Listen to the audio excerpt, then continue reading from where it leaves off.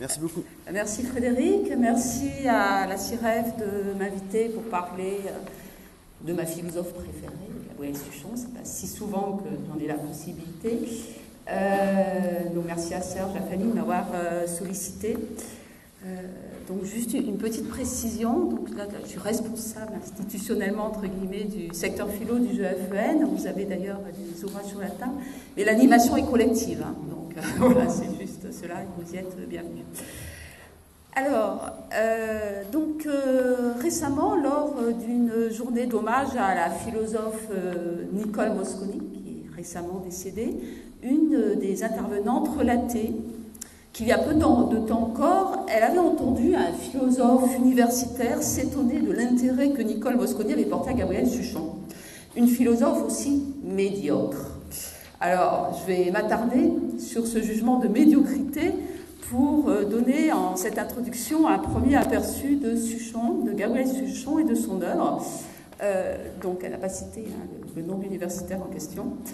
Euh, alors peut-être, je me suis dit que peut-être cette qualification de médiocrité aurait fait sourire cette philosophe qui revendiquait un attachement au juste milieu, entendu comme une modération propre aux esprits bien réglés, qui, je la cite, ne s'emportent jamais aux louanges excessives ni aux blâmes passionnés et investissent toute leur énergie dans la formation de leur jugement afin qu'ils deviennent toujours plus sûrs et plus fermes et ne se laissent pas induire en erreur par les préjugés du siècle.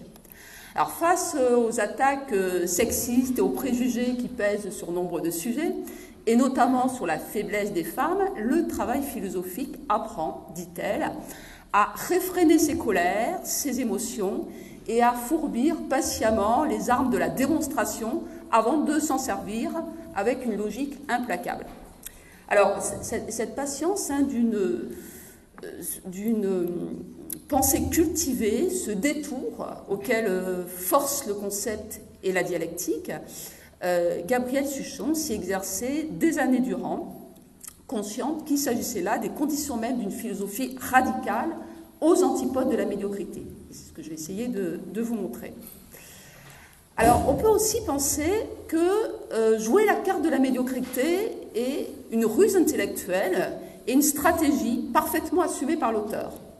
Au fond, qu'importe que sa philosophie et peut-être sa personne tout entière apparaissent médiocres, sans intérêt au regard du monde, et notamment au regard des lecteurs censeurs si, au bout du compte, elle parvient à ses fins, à savoir pouvoir s'exprimer longuement et librement sur des sujets qui lui tiennent à cœur et faire œuvre de philosophe.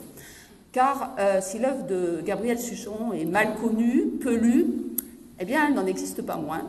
Et il ne s'agit pas de quelques lignes d'un maigre opuscule, mais d'ouvrages de centaines de pages, publiés de son vivant, ouvrages écrits euh, et qui, alors, publiés de son vivant avec privilège du roi et approbation d'un certain nombre de docteurs de la Sorbonne. Donc, ouvrage écrit en, l'espace de dix ans, euh, donc pour une obscure euh, nonne bourguignonne qui a passé au couvent une bonne partie de sa vie et puis qui a fini son existence dans une retraite discrète, ce résultat est tout sauf médiocre et peut-être à son époque déjà, dû faire pâlir d'envie plus d'un de ses contemporains. Alors, quelques mots sur euh, Gabrielle euh, Suchon, hein, qui est beaucoup moins connue que d'autres demoiselles savantes qui lui sont contemporaines, qui la précèdent de peu, à savoir Marie de Gournay, dont vous avez sans doute entendu parler, ou encore la Minerve du siècle, euh, Anne-Marie de Schurman eh bien, euh, donc, euh, elle est beaucoup moins connue, alors que paradoxalement, justement, ses écrits sont plus nombreux euh, que les leurs. Hein. Alors, Gabrielle Suchon, elle est, née à Semur-en-Auxois, en Côte d'Or, en, 1631, pardon, et on sait très peu de choses d'elle. Hein. Elle est connue essentiellement par une notice biographique que lui consacre un certain abbé, Philibert Papillon dans une bibliothèque des mœurs de Bourgogne. Alors, ce qu'on sait d'elle, c'est qu'elle est, elle est, elle est née dans une famille de petite noblesse, une ancienne famille, et, euh, chose banale en son temps, euh, elle est dirigée vers le couvent. Hein, elle est cloîtrée, mais, et c'est là où l'histoire commence à devenir palpitante. Elle s'échappe du couvent, alors à un âge déjà assez mûr quand même, et elle se rend à Rome afin de se faire enfin, afin de, faire résilier ses voeux. Hein. Et évidemment, tout cela contre la volonté familiale, comme vous en doutez. Alors, ce qui est absolument extraordinaire, c'est que euh, le, pape, euh, par un écrit, la relève effectivement de ce vœu, donc la dégage hein, de, son, de, son, engagement ou, euh, conventuel. Et à ce moment-là, elle retourne en Bourgogne mais euh, sa famille fait appel. Donc il s'ensuit un, procès au Parlement de Dijon et le Parlement euh, donne euh, légitimité à sa famille qui, évidemment, à partir de là, veut à nouveau l'enfermer. Et elle s'y refuse. Elle s'y refuse. Et alors c'est là où les choses ne sont pas très claires, mais il semblerait qu'elle arrive à ne, pas à nouveau rejoindre le couvent et à passer le reste de sa vie entre Dijon et puis effectivement ce mur euh, en, Auxois où elle va euh, rejoindre sa mère. Peut-être qu'il y a une réconciliation, je ne sais pas, où elle emploie ses journées à lire, à écrire, à enseigner également. Donc elle va mener une vie de retraite dans le siècle, célibataire dans le siècle, une vie libre. Et c'est dans sa dernière décennie qu'elle publie ses ouvrages philosophiques. Alors, ces ouvrages, euh, donc, vous voyez qu'effectivement, elle était promise à une existence, au fond, assez banale et médiocre, mais sa trajectoire montre qu'elle sort du lot commun et qu'elle se crée une destinée extrêmement singulière à force de volonté et euh, grâce aussi à une radicalité de ses choix. Alors, quels sont ces, ouvrages? Ils sont au nombre de, deux, hein, avec une annexe. Hein. Le traité de la morale et de la politique est publié en 1693. Et puis, euh, qui fait souvent, ou le plus souvent, l'objet de, commentaires. Et puis, un ouvrage euh, moins connu du célibat volontaire, justement, ou La vie sans engagement, 1700, donc il est publié trois ans avant son décès. Elle décède à Dijon. Alors, on peut compter vraiment sur les doigts, bon, allons de deux mains maintenant, hein, les articles et les ouvrages qui sont consacrés à Gabriel Suchon, euh, alors même que son œuvre est euh, depuis longtemps disponible, hein, depuis plusieurs décennies, puisque ce que je vous montre là, c'est la, première partie du traité de morale et politique. Ah d'accord, du coup. C'est ça. Euh, donc la première partie du traité de morale et politique est disponible aux éditions des femmes depuis 1988, c'est-à-dire depuis plus de 30 ans. Euh, donc euh, rapidement, elle a été commentée par la personne, donc par Séverine Offray, hein, la philosophe Séverine Offray qui en fait la présentation et qui rédige donc une introduction. Euh, donc, euh, d'autre part, donc elle la lit, elle la commente. La commente également euh, Michel Ledeuf, qui en parle déjà dans son ouvrage, son premier ouvrage l'étude et l'héroé, enfin un de ses premiers ouvrages, l'étude et l'héroé, et qui lui consacre aussi une analyse plus approfondie dans le sexe du savoir. ensuite, il faut attendre environ 2001, donc avec la publication de l'ouvrage d'Elsa Dorlin, L'évidence de l'égalité des sexes, hein, qui est donc la publication sur mémoire de maîtrise et qu'elle consacre aux philosophes de l'égalité du XVIIe. Et là, vous retrouvez Gabriel Suchon, Marie Gournay, euh, Anne-Marie Schurman et Poulain de la Barre. Et puis alors, il faut attendre encore quelques années pour l'avoir objet d'études universitaires, hein, notamment justement au Québec.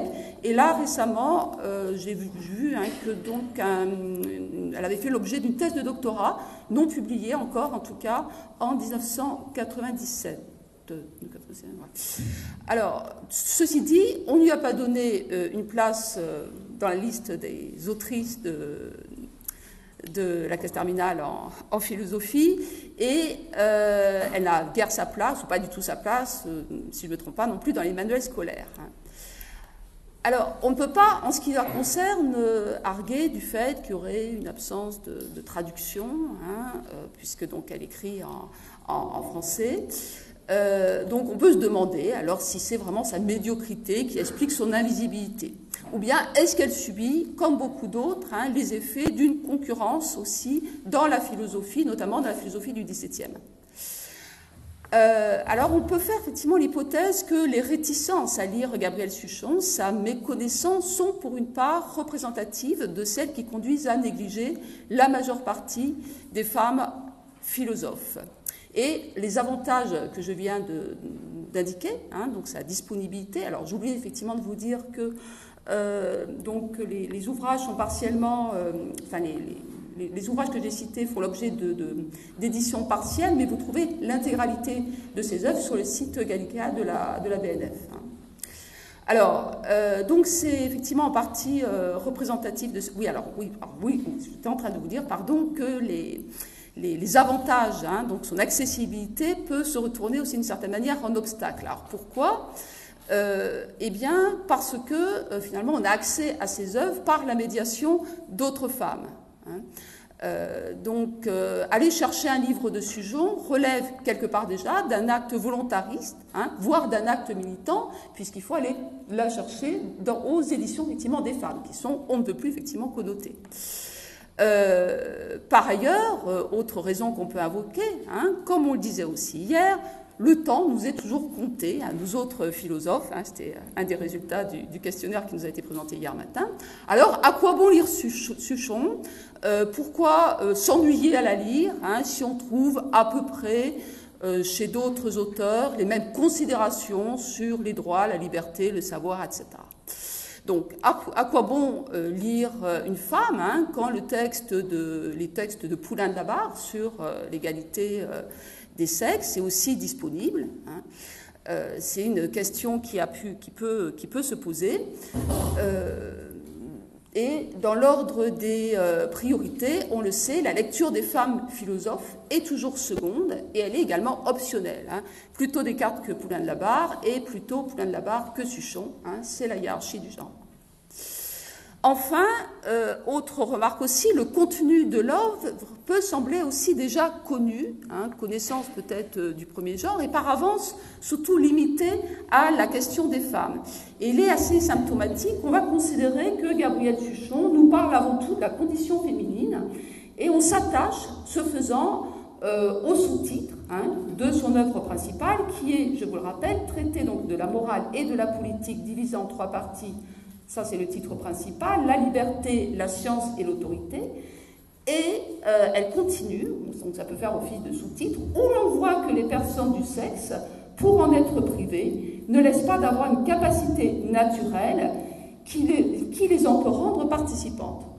Donc, ce qui se passe, c'est que on regarde ce titre, on se dit, voilà, c'est encore un ouvrage qui va nous parler de la condition des femmes, et donc c'est un objet euh, particulier, hein, et il n'y a pas ici une œuvre ayant une dimension euh, universelle et pouvant intéresser la philosophie à ce titre. Sauf que, comme je vous le disais, le titre principal et l'ambition effectivement de Gabriel Suchon, c'est bien justement une réflexion sur la morale et la politique, hein, sur des concepts qui ont tout à fait droit de citer euh, en philo et qui relèvent bien justement de la philosophie générale.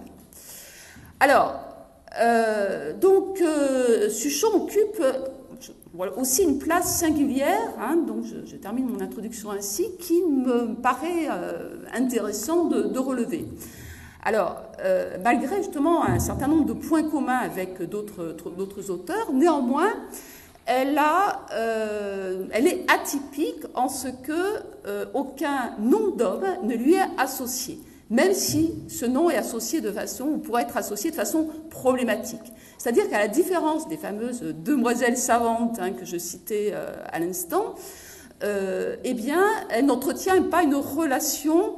Alors, d'éloïsomorphisme, hein, qui est le terme utilisé par Michel Ledeuf pour exprimer ce lien justement de suggestion avec, à l'égard justement d'un homme, ou, pour le dire de façon positive, feu, ce lien effectivement par lequel une femme se réclame à titre de disciple justement euh, d'un homme. Hein. Et c'est le cas par exemple pour Anne-Marie de Schurman avec son, son correspondant euh, Rivet, hein, et aussi bien sûr de Marie de Gournay, fille d'alliance de Montaigne. Tu peux redonner le concept euh, Oui, alors Héloïse, hein, Héloïse Abélard, donc héloïsomorphisme, voilà. Alors, son statut de religieuse qu'elle garde pendant longtemps explique en partie, certes, cette position solitaire, singulière, sans appui masculin, hein, mais il s'agit aussi d'un choix délibéré de sa part, hein, et euh, non seulement délibéré et revendiqué. Alors, euh, donc, euh, on peut donc dire que euh, Suchon est représentative à la fois du regard porté sur les femmes philosophes, euh, mais en même temps, justement, elle marque un pas par rapport, par rapport à cela. Alors, elle est représentative pardon, de la condition et des préoccupations aussi des femmes philosophes, et en même temps, donc, ce parcours de vie est singulier. C'est en ce sens qu'elle est passionnante à découvrir et à faire découvrir. Alors, j'ai choisi pour euh, titre de mon, de mon intervention donc le choix d'une existence sans engagement pour la pratique d'une philosophie engagée, puisque s'il est bien une chose dont euh, Suchon ne doute pas, c'est que philosopher suppose la jouissance de la liberté. Hein. L'exercice de la philosophie est le fait d'un sujet libre, et son objectif est de revendiquer pour elle comme pour les autres cette liberté qui est condition de l'exercice de toute pensée. Et on voit jusqu'où cela la conduit. Euh, alors, ce désir de liberté, donc je vais le décliner en trois points, trois étapes, trois parties. Premièrement, ce sera le moment le plus long, comment s'employer à dégager son existence de toute contrainte afin de la dédier tout entière à la philosophie? Ensuite, deuxième point, la pratique de la philosophie comme un travail de soustraction à toute forme d'autorité intellectuelle, c'est-à-dire une recherche personnelle du vrai et du bien. Et là, je m'attarderai davantage sur euh, les modalités discursives de euh, son écriture. Et euh, enfin, la pratique de la philosophie comme production d'une pensée visant la transformation politique. Donc trois dimensions, hein, morale, intellectuelle et politique, pour faire vite. Alors, premièrement, donc, une vie sans engagement. Alors euh, là, je vais m'arrêter plus précisément sur euh, justement cet ouvrage qui est moins étudié de Gabriel Suchon, qui est le traité du célibat et sur lequel j'ai eu l'occasion de travailler. Euh, donc la première condition pour philosopher, c'est, dit-elle, dégager, voilà, dégager son existence de toute contrainte. Hein. Donc là, donc il s'agit de rechercher une condition de vie qui permet le développement d'une liberté intérieure qui elle-même suppose l'autonomie du sujet. Elle dit de cette vie qu'elle va euh, privilégier et qui est la vie du célibat, justement, c'est une vie abstraite, libre, qui permet d'adonner le plus clair de son temps à la vie intellectuelle et à la recherche donc du vrai et du bien. Et c'est ce à quoi tout être humain, explique-t-elle, doit s'employer. Alors, c'est chose difficile pour tout à chacun de dégager du temps pour euh, cette fameuse existence, hein, mais c'est quasiment impossible pour une femme. Et c'est en disant cela qu'elle rencontre et amorce une réflexion sur les inégalités à cet égard entre hommes et femmes, face à ce qui est la, chose la plus importante à ses yeux, la grande affaire justement de la vie, c'est disposer de sa personne et disposer de son intelligence. Euh, alors déjà, la liberté, c'est la jouissance donc de, son, de sa personne, donc la possibilité d'être soustraite à toute espèce d'autorité juridique. Or, quelle est la condition des femmes à l'époque? Eh bien, c'est effectivement d'être sous tutelle. Hein. Tutelle, effectivement, euh, des pères, puis ensuite tutelle, alors, soit justement du mari, soit d'une supérieure d'un couvent. Donc, aucune place, aucune échappatoire. Hein, et euh, euh, ceci a été renforcé, si vous voulez, par, donc, quelques décennies avant, par les arrêtés du, Concile de Trente qui indique, qui, met un terme à une possibilité qui subsistait pour, alors pour les femmes, c'est-à-dire de vivre dans des communautés, de vivre librement dans le siècle avec justement d'autres femmes, hein, donc euh, bon, les fameux béguinages hein, que vous, dont vous avez entendu parler. Ceci justement n'est plus, euh, n'est plus possible. Donc les femmes doivent choisir, entre guillemets. Elles doivent s'engager soit justement dans le mariage, soit dans le couvent. Et c'est ce qui va faire l'objet d'une réflexion assez approfondie euh, de, Gabriel, de Gabriel Suchon. Alors, ce qu'elle va euh, indiquer déjà, hein, c'est que euh, logiquement, si une, si une femme veut rester euh, maîtresse d'elle-même, veut rester majeure, eh bien, elle doit rester fille. Donc, elle doit rester dans le célibat. Alors, ce qu'elle précise, donc, un célibat séculier, un célibat volontaire, hein, euh, et elle englobe sous le terme de célibat, célibat vie séparée, hein, proprement parler, au niveau de, l'étymologie, euh, et ce qu'elle englobe, c'est non seulement justement les filles qui restent filles, mais également euh, les femmes qui se retrouvent veuves, hein, ou qui pour des raisons, toutes sortes de raisons, se trouvent se retrouve, euh, se, justement sans tutelle. Et alors, il y a des passages assez euh, succulents où euh, elle cite un certain nombre de femmes veuves qui, nullement pressées justement de se marier, font des, remarier, pardon, font des pieds et des mains pour garder justement leur, leur indépendance. Et donc, d'ailleurs, euh, à ce titre, je vous renvoie sur la condition euh, privilégiée des veuves, hein, sur le fait que beaucoup de veuves, justement, ne se, remariaient pas à l'époque parce qu'elles euh, y trouvaient nombre d'avantages, non seulement moraux, mais également financiers. je vous renvoie à l'ouvrage de l'historienne, par exemple, Scarlett Beauvalet, hein, qui a travaillé sur la solitude à l'époque moderne. Euh, donc, euh, elle énumère en fait aussi dans, à ce moment-là, hein, donc euh, Suchon énumère tous les obstacles à la liberté qui résultent du mariage et en contrepoint les privilèges du célibat, dont elle affirme le caractère moral contre tous ceux qui le tiennent en suspicion. Ce qu'elle va expliquer, c'est qu'en fait le célibat n'est pas absolument pas interdit par la loi, mais il est tout à fait discrédité. Hein. il est considéré comme moralement illégitime. Alors, je, lis euh, un extrait qui est très, euh, intéressant, euh, y compris qui peut résonner peut-être aujourd'hui auprès de nos lycéennes. L'on entend dire tous les jours que c'est une chose absolument nécessaire de s'engager dans dans une condition et qu'il faut prendre parti, soit dans la religion, soit dans le mariage. Cette maxime si universelle s'adresse particulièrement aux filles qui, à cause de la faiblesse de leur sexe, sont exposées à des plus grands dangers que les hommes. Elles sont toujours suspectes pour la conscience, soupçonnées pour l'honneur et observées pour la conduite si elles ne sont dans les liens d'un cloître ou dans la société d'un mari. C'est pour toutes ces raisons qu'elles doivent être attachées à l'un de ces deux états.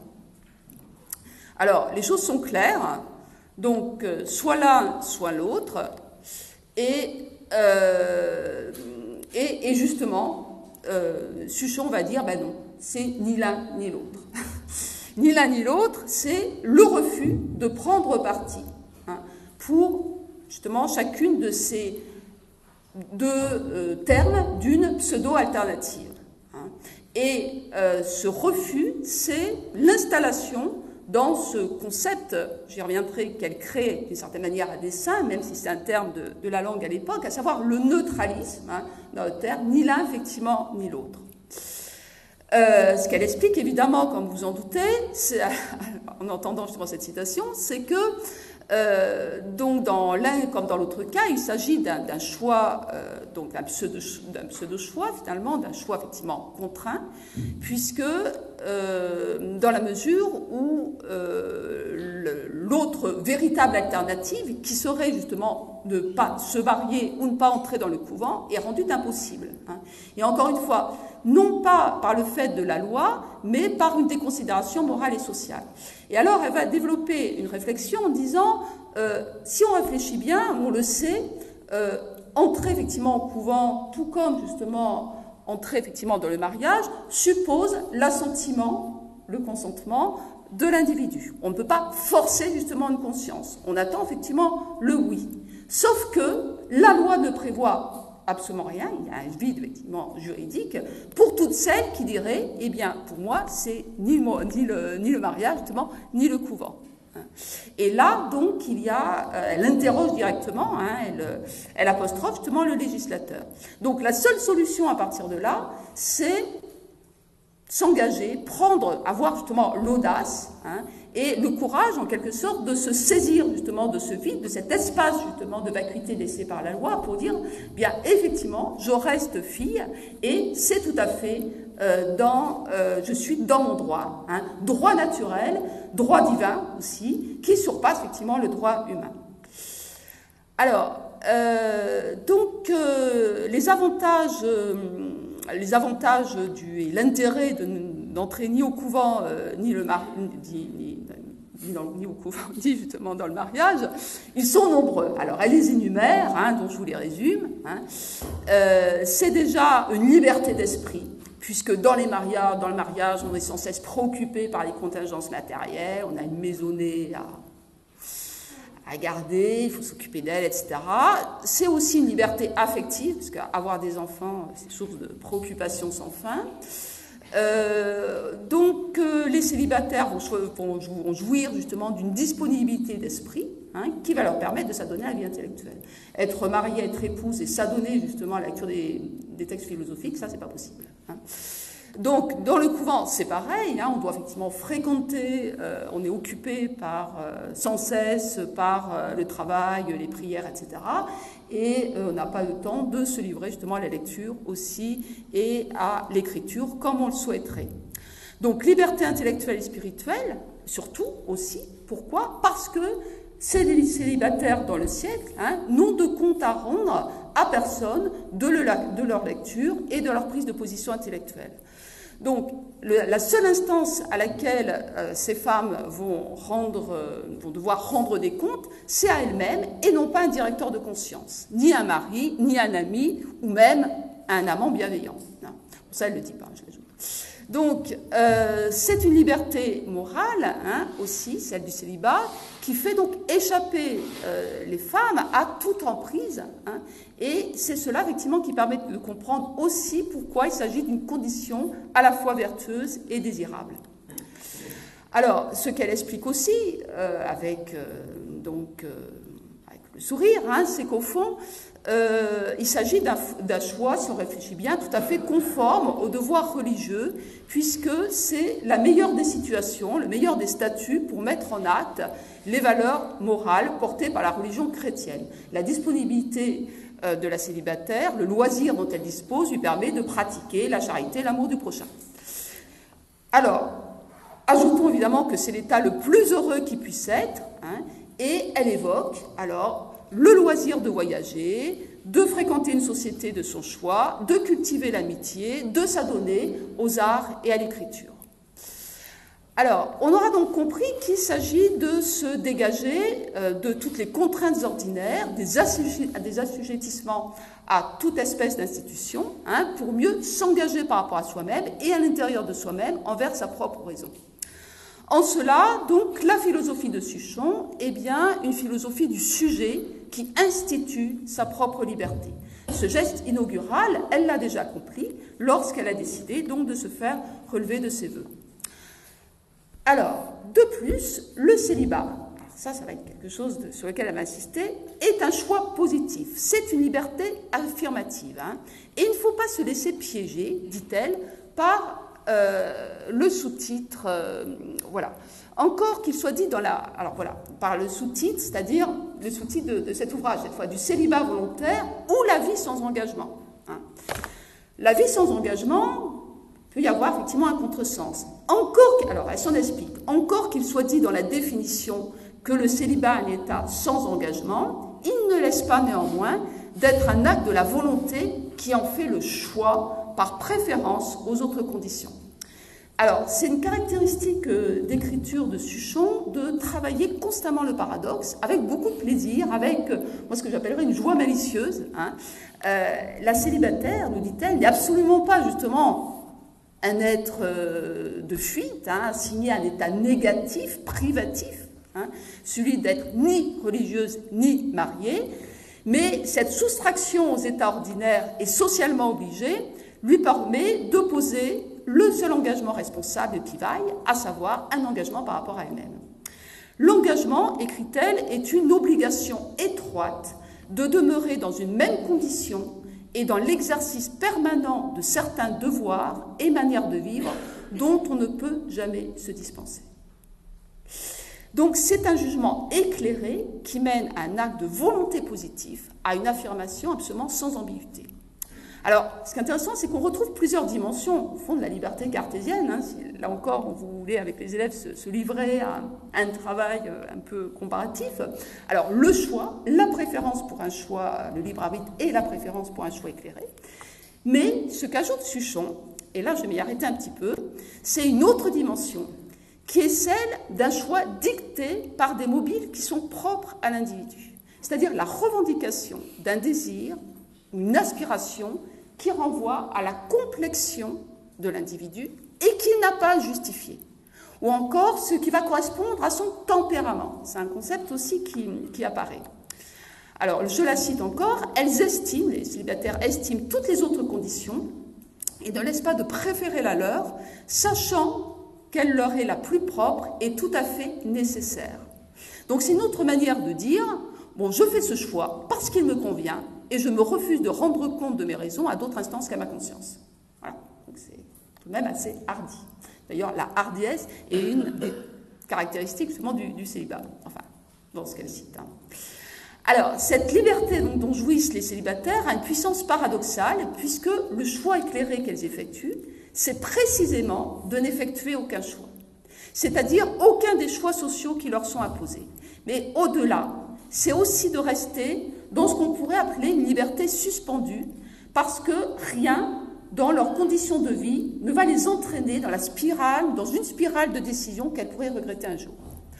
Ou encore, c'est une situation qui leur permet de se donner le temps de s'engager, si elles décident de s'engager.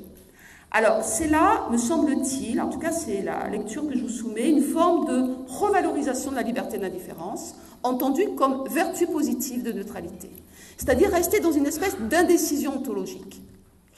Si l'on réfléchit, écrit-elle, aux avantages d'un État qui peut toujours choisir et délibérer, un État qui peut toujours choisir et délibérer, l'on reconnaîtra que sous l'écorce d'une condition peu estimée du monde se trouve l'or précieux d'une puissance libre qui peut remplir toutes les autres vocations. Donc c'est le sentiment, alors je continue, c'est le sentiment de Saint Bernard lorsqu'il dit que Dieu, en nous mettant au monde, a mis et laissé en notre pouvoir le choix de ce qui nous est le plus propre pour mieux nous conduire à lui et pour travailler à notre perfection. Alors, à travers cette réflexion sur la valeur du, neutralisme, hein, c'est-à-dire un État qui contient virtuellement et en creux tous les possibles, un État privilégié qui permet de ne pas choisir entre deux voies qui se révèlent des impasses, c'est l'engagement dans un État qui refuse tout acte qui rendrait impossible l'exercice plein et entier de sa liberté. C'est-à-dire, c'est la valorisation, la revalorisation d'une forme de liberté qui préfère l'infini des possibles, ou l'infinité des possibles, à la nécessaire finitude d'un choix. Donc Suchon, me semble-t-il, fait accéder au statut de concept le terme donc de neutralisme. Et d'une certaine manière, euh, elle anticipe, donc ça aussi ce sont des, sujets sur ma part, hein, ce que Barthes euh, dit de la neutralité dans le séminaire qu'il lui consacre, alors évidemment des siècles après. Hein. C'est-à-dire qu'elle va affirmer très tranquillement la valeur d'une liberté qui peut se réclamer du non-choix et l'ériger en mode de vie. Être libre consiste à se donner le droit de différer le choix et de le différer à l'infini. Donc on n'est pas là au plus bas degré d'une liberté, douloureuse, impuissante, mais au plus haut degré d'une liberté qui conserve jalousement le droit de ne pas s'autolimiter.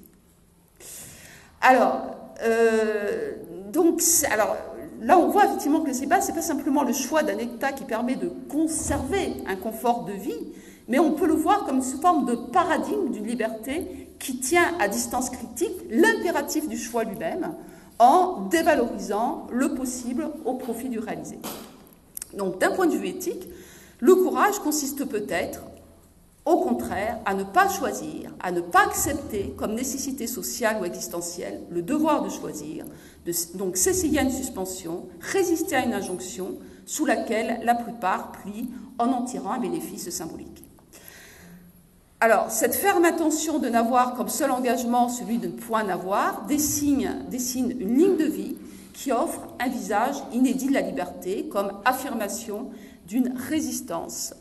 Ne pas se laisser prescrire des choix hétéronomes par paresse, par résignation, par peur ou par manque d'imagination. Donc on voit comment Suchon, par cette conception paradoxale de la liberté, opère une forme de renversement sur l'échelle des valeurs philosophiques attribuées à la liberté, tout en dénonçant la condition qui est imposée aux femmes, c'est-à-dire l'impossibilité de choisir. Elle révèle le mensonge ou l'hypocrisie sociale, on leur fait croire qu'elles ont le droit de choisir, et elle, elle érige en force et vertu un défaut, une injustice. Donc elle revendique ce qui leur est refusé, hein, retournement de situation. Donc le pouvoir de ne pas consentir, de dire non, de ne pas choisir, et ce faisant de transformer le non-consentement en un oui affirmatif. Donc refuser de s'engager, c'est se poser comme sujet responsable de son existence, la ressaisir et décider à tout moment de l'usage que l'on fait de son pouvoir de décision. Euh, c'est donc accepter aussi, je terminerai là, de vouloir, vouloir demeurer, donc c'est accepter de vouloir demeurer dans cet état de neutralité, d'entière disponibilité, qui est, et là je cite Barthes, hein, complexe, qui enchevêtre les contraires, les oscillations, qui est insupportable à la doxa, ne pas choisir, et délectable au sujet. Le neutre, écrit-il, n'annule rien, il garde présent lui tous les contraires, les antagonismes, et il est difficile, parfois impossible à vivre. Et pourtant, c'est le prix à payer, peut-être, pour manifester sa liberté. Et c'est pourquoi le célibat est considéré euh, largement, enfin souvent effectivement comme dangereux, puisque voilà. Alors, euh, bon, donc je, passe un petit peu. Alors, donc, ajoutons aussi peut-être, hein, pour euh, terminer, c'est pas une moindre chose, hein, que euh, donc j'indiquais que le, célibat est largement euh, discrédité, etc. Hein, c'est ce qu'elle reproche. Et euh, ce qu'elle explique aussi, c'est qu'être libre, c'est pouvoir choisir contre la loi et contre la coutume, contre toute forme effectivement d'opinion, ce qui est effectivement préférable. Hein. Et en ce sens, elle se situe évidemment dans la filiation stoïcienne, hein, elle fait référence d'ailleurs clairement à Sénèque. Hein. il faut savoir aussi considérer que le préférable est souvent effectivement meilleur que euh, ce qui est euh, euh, ordinaire, qui apparaît effectivement comme raisonnable. Hein. et donc, ce qui est préférable peut conduire à user d'une liberté transgressive. Donc, alors, donc le grand privilège du célibat, fin de premier moment, c'est donc se délier pour mieux se lier, s'engager dans ce qui vaut, s'engager comme sujet intellectuel, doué d'autonomie à la recherche du vrai et du bien. Et donc je passe à mon deuxième moment. Alors, cette prise d'autonomie intellectuelle, hein, elle apparaît dès le début du traité de morale et politique, elle revendique euh, elle-même hein, qu'elle a, elle, elle, le dit, je l'ai écrit, sans aucun conseil ni secours étranger. Alors, je vous propose d'examiner un peu le, rapport que Gabrielle Suchamp entretient avec la tradition philosophique. Alors, comme beaucoup de, femmes hein, cette époque, elle est largement autodidacte. Hein, euh, et euh, en ce qui la concerne, à la différence quand même justement de, Marie, de, enfin, Marie Gournay, bon, c'est comment elle, a élaboré sa culture et aussi euh, donc Anne-Marie Schurman, mais elle, on ne sait pas trop comment elle s'est constituée sa propre culture, parce qu'elle a vraiment une culture, elle a lu, elle a lu la philosophie antique, elle a lu Aristote, Platon, elle les cite vraiment à dessein et très longuement. Euh, à moult reprises. Euh, elle a lu les historiens grecs et romains, elle cite Plutarque, donc Cicéron aussi, et une somme vraiment impressionnante de euh, docteurs de l'Église, des commentateurs aussi de textes religieux. Elle a lu aussi les modernes, hein, même si alors là, elle les nomme pas de façon express, alors peut-être peut aussi par, par prudence, mais il y a des allusions très nettes à Poulain de la Barre hein, et à d'autres encore. Alors, Comment a-t-elle pu se constituer sa culture, euh, sa culture Ça, on ne le sait pas. Hein.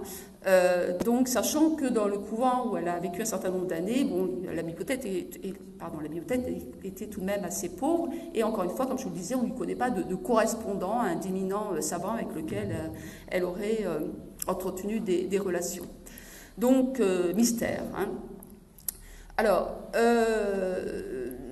alors, la lecture hein, de, ces textes hein, peut paraître parfois assez laborieuse, assez répétitive, car ils sont ponctués de références, d'exemples, etc. Euh, et empruntés justement à cette double tradition euh, de philosophie chrétienne euh, et de philosophie antique. Alors, je ne vais pas me lancer évidemment dans une revue systématique, ça ne présenterait pas tellement d'intérêt de toutes ces références, mais par contre, quelques mots justement sur la méthode qu'elle utilise. Alors, elle s'en explique elle-même, elle est tout à fait, euh, voilà, elle rend compte de, sa méthode et elle dit voilà, la, vérité, donc le trésor des esprits, et pour grand qu'il puisse être, il ne saurait jamais faire une recherche plus utile et plus nécessaire que celle, et voilà, qui appuyait un, sur des raisons fortes et convaincantes, deux, des autorités doctes et persuasives, trois, des exemples, c'est moi qui ajoute un de trois, des exemples si éclatants qu'ils ne sauraient être obscurcis par les nuages de la calomnie. Donc elle a une forme, elle a un triptyque en quelque sorte, un terme d'outil. Euh, donc les raisons, les les, voilà, les, références à des, autorités et d'autre part euh, les exemples. Alors, ceci dit, euh, alors, comme je vous disais, elle a recours fréquemment à des citations, mais il ne s'agit pas chez elle, du moins me semble-t-il, d'arguments d'autorité qui la dispenseraient du travail de raisonnement. J'en suis, ça fait quoi Ça fait un bout de temps que je parle quand même, ça fait une quarantaine de minutes. un petit peu moins. Un peu moins, ça va, ça va, ça va encore. Donc, elle se place donc sous, elle se place sous l'autorité des philosophes, mais non justement d'un maître à penser. Donc, la revient carrément justement aux sources. Hein. Et euh, elle fait référence à eux d'une façon assez finalement euh, souvent euh, très très libre, hein, au sens où elle convoque l'un ou l'autre hein, d'une façon très à son service, au service finalement de sa, de sa propre réflexion. Voyez Platon, voyez Aristote, ils pensent justement effectivement comme moi. Preuve que ma parole vaut. Ah, donc, il ne s'agit pas de substituer des autorités à sa propre pensée, il s'agit d'être à soi-même sa propre autorité. Hein. Elle les convoque en fait davantage comme témoins de la valeur de son argumentation, en se permettant de se livrer à sa propre interprétation. Donc, c'est vraiment, comme je vous disais, une libre utilisation des auteurs. Hein. On peut justement attribuer à cette manière de vie la pensée d'Aristote quand il dit, etc. Voilà. Donc, euh, l'essentiel, c'est de faire écho à une culture attendue hein, et partagée par, euh, euh, ses lecteurs, d'entrer donc dans une forme de connivence intellectuelle, dans une sorte effectivement de complicité aussi, mais de construire une forme d'étayage de propos, de pensées qui vont surtout corroborer son raisonnement hein, et aider à détruire les objections et notamment les faux raisonnements, les préjugés euh, à l'encontre de ce qu'elle soutient. Donc, et que cherche-t-elle à montrer par là Au fond, qu'elle n'est pas la seule à tenir pour vrai ce qu'elle avance et à raisonner justement comme elle le fait. Donc, ce n'est pas du tout une stratégie qui, une façon de se déresponsabiliser, mais c'est au contraire une façon de plus, si vous voulez, de montrer l'inanité des préjugés qui servent, qui, euh, qui lui sont, euh, qui servent d'objection, qui lui sont objectés. Hein. Euh, donc toutes ces pensées, ces raisons, ces exemples, ces références aux autorités qu'elle entremêle hein, servent de contrepoids à la fragilité sophistique des lecteurs qui seraient justement mal intentionnés et euh, qui éventuellement voudraient censurer son travail.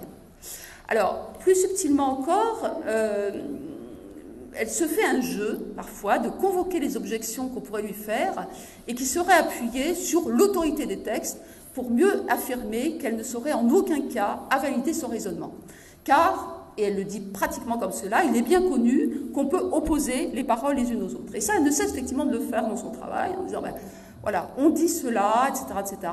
Vous convoquez, saint Thomas dirait cela, on trouve cela sous, euh, la plume de saint Augustin, mais un peu plus loin ou ailleurs, ben, saint Augustin dit exactement effectivement la, la, chose contraire, etc., etc.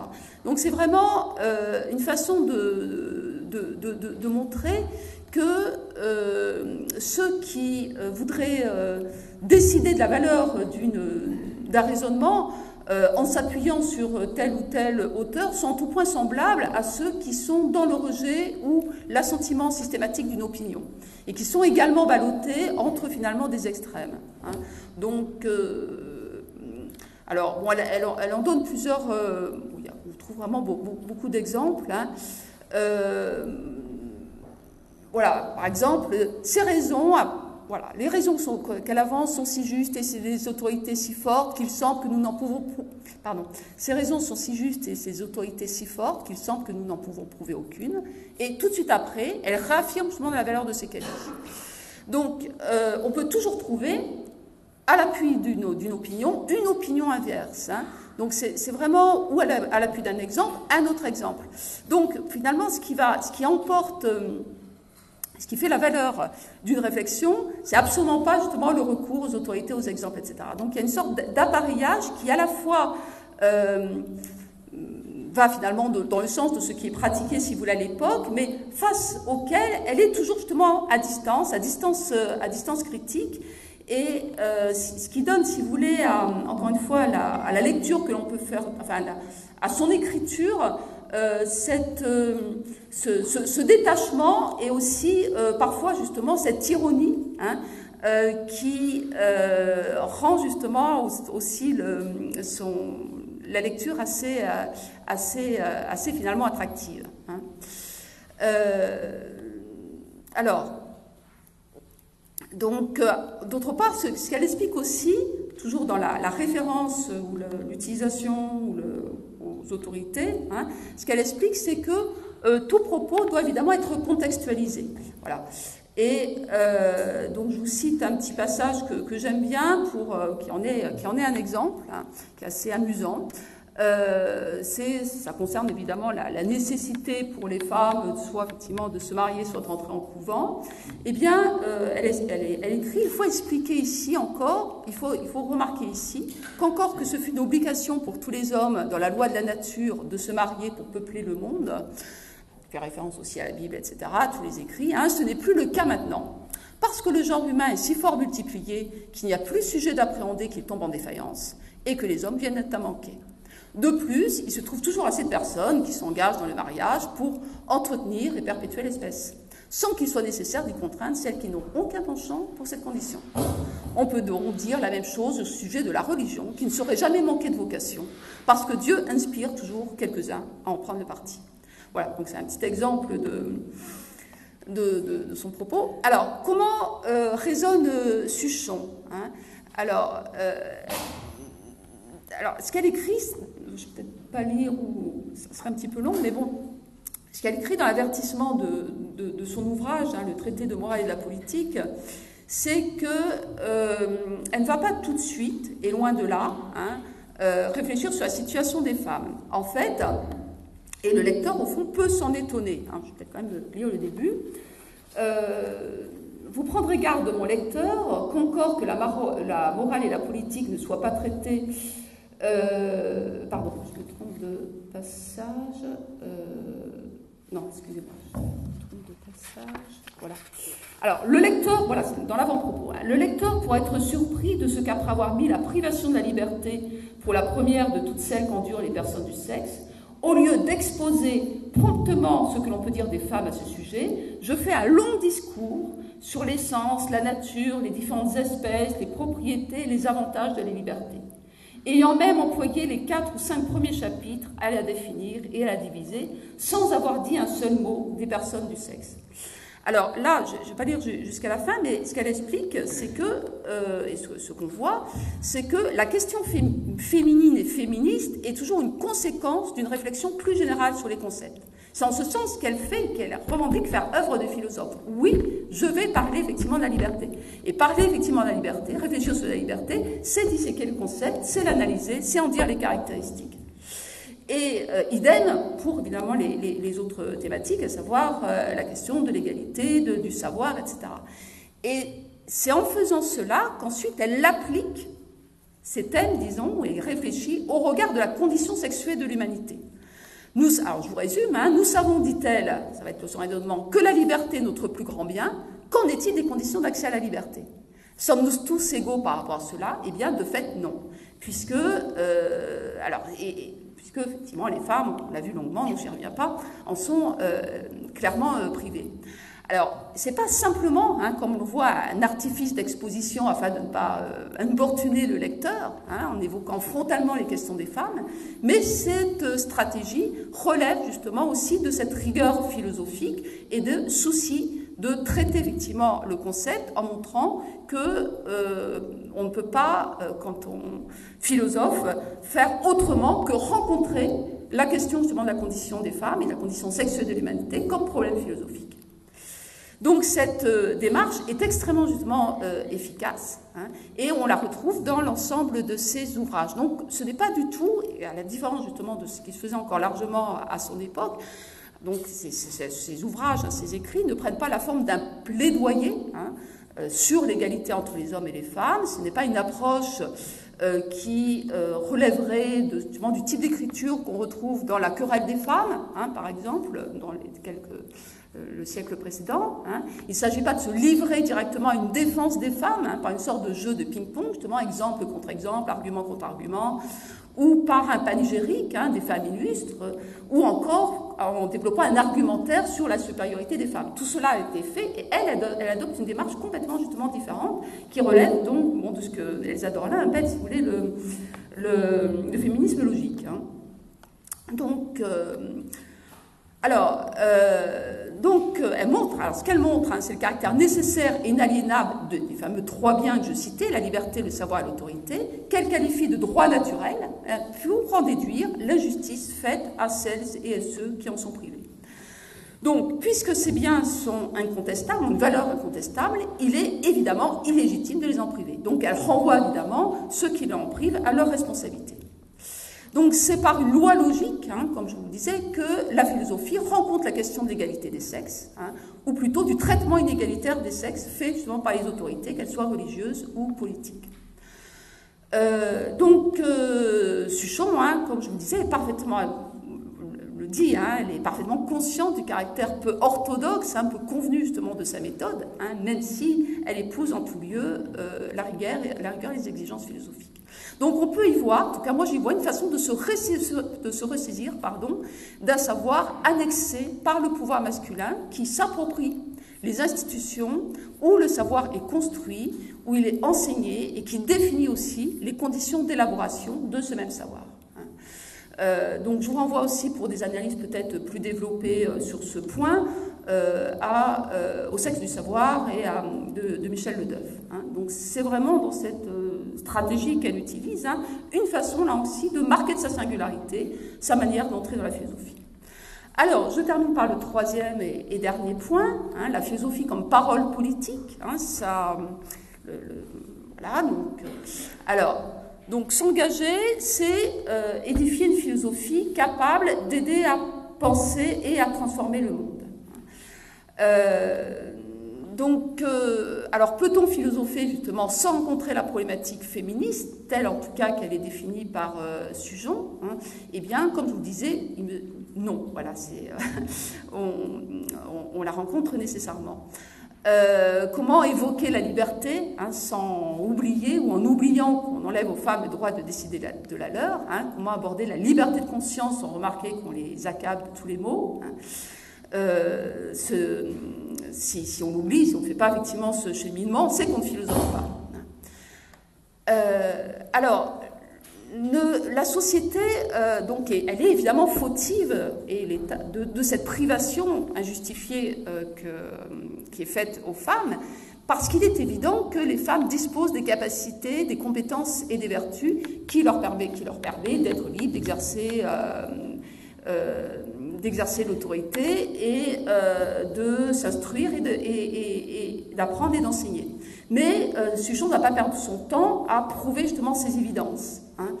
Euh, le féminisme, hein, tout comme la philosophie, ne consiste pas justement à prouver des évidences, hein, se livrer à proposer des réponses sans fin à des objections qui sont fondées sur la passion, sur les préjugés, mais plutôt, et c'est c'est ça qui va être caractéristique, à porter témoignage hein, et à faire éclater le besoin effectivement légitime de liberté et de justice, en lieu et place de la contrainte et de la dépendance. Euh, en fait, ce qu'elle cesse de, rappeler, c'est que cette pseudo-faiblesse des femmes hein, ne peut être évidemment ni soutenue par la raison, ni défendue par l'autorité, ni prouvée effectivement par l'exemple. Hein. Il s'agit euh, donc. Euh, alors, face à cela, ce qu'elle va dire au fond, et je vais. Euh, les raisons ont leurs limites, les exemples et les références aux autorités aussi. la seule chose vraiment susceptible d'emporter peut-être la conviction, c'est d'opposer les faits, d'opposer justement le réel, de montrer justement que des femmes sont capables de réfléchir, sont capables de s'instruire, de s'enseigner, font l'exercice de leur liberté. donc, opposer les faits inlassablement à tous les pseudo-raisonnements pour essayer de faire échouer la mauvaise foi, c'est peut-être la meilleure des manières de faire. Hein. alors, certes, euh, Suchon, alors, on, voit comment, si vous voulez, Suchon euh, fait preuve toujours, donc je vous disais, de distance, d'ironie hein, aussi, euh, à chaque page, en, jouant effectivement du, paradoxe, en soulignant les contradictions de l'adversaire, et en disant toujours, finalement, on n'est pas dupe. Hein. les femmes ne sont pas dupes. Hein. Euh, et, euh, et elle-même, ce qu'elle va dire, c'est que je ne suis pas dupe aussi des limites finalement de mon discours. Hein. Les, raisons finalement, comme je disais, ont une efficacité euh, limitée. Je vous les donne, je vous les livre parce qu'il les faut et parce qu'on attend cela de moi d'une certaine manière, mais je ne vais pas m'en tenir là. donc toutes les raisons, les exemples, les, bon, montre suffisamment déjà que, euh, bon, par exemple, l'état de, célibat dont j'ai longuement parlé est légitime, hein. mais euh, le, nerf du, problème, c'est que euh, c'est pas le problème effectivement de la légitimité. Tout le monde est d'accord, les hommes effectivement le reconnaissent aussi, mais euh, cela va à l'encontre évidemment de l'intérêt d'une classe masculine et du pouvoir patriarcal, hein, qui est celui justement de l'État et de l'Église. Hein. Alors plutôt, si vous voulez, qu'une série d'accusations, Suchon va procéder, comme je le suggérais, par la présentation de la somme d'avantages, de la positivité des biens que s'approprient effectivement les hommes. Euh, donc, euh, en, faisant en sorte que par contraste, eh bien, on, se rend compte de l'injustice qui est faite justement aux femmes. Donc, en fait, le problème aussi, c'est de savoir qui il s'agit de convaincre hein, à travers euh, ces discours. Alors, est-ce qu'on peut convaincre? Des hommes de bonne volonté Peut-être, mais il n'en existe pas beaucoup. Hein. Donc, euh, et ce, euh, alors, est-ce qu'on va, elle, va arriver à convaincre ou est-ce qu'elle pense effectivement convaincre euh, ceux qui vont l'avoir lu? Ben, C'est pas sûr non plus du tout, hein, parce que là encore, ils vont continuer à faire preuve de, mauvaise foi, sans doute. En tout cas, c'est ce qu'on peut quand même déduire. Il y a des approbations qu'elle reçoit. Hein, euh, après la publication de son premier ouvrage. Hein. donc je vous laisse apprécier les commentaires qui sont faits euh, à, son, égard. Euh, j'ai lu le livre intitulé Traité de la morale et de la politique, etc. Je ne doute pas qu'on trouve bien, qu'on ne trouve bien du plaisir en le lisant, étant un ouvrage plein de piété, soutenu d'érudition et accompagné de beaucoup de traits d'histoire qui en rendent la lecture également profitable et divertissante.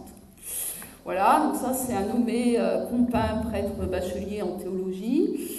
Et puis, euh, j'avais aussi euh, sélectionné, voilà, je sous-signais docteur en théologie de la Société de la Sorbonne et lu un livre, etc., lequel est digne de l'esprit, de la lecture et de l'application de la personne qui l'a composé.